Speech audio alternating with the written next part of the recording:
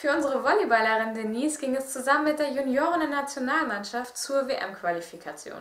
Doch wie sieht sie selber die Chancen für eine erfolgreiche Qualifikation?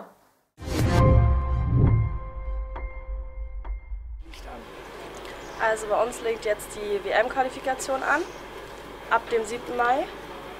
Und ja, da versuchen wir uns dann für die Weltmeisterschaft zu qualifizieren. Ja, also kann man schon so sagen, wir sind halt jetzt beim Lehrgang quasi, also alle sind hier aus den verschiedenen Bundesländern und ja, wir haben jetzt, fahren jetzt noch zum Lehrgang nach Chiembaum für ein paar Tage, weil wir halt ähm, Länderspiele gegen die Russinnen machen. Und ja, danach kommen wir noch mal ganz kurz hierher und dann geht's in den Flieger nach Bulgarien. Ähm, bei der Qualifikation werden wir gegen Lettland, Kroatien, Griechenland und Bulgarien spielen. Ähm, ich denke, unsere Chancen stehen sehr gut. Ähm, werden wir einfach so zusammenhalten, wie jetzt auch im Training. Also meiner Meinung nach läuft es sehr gut.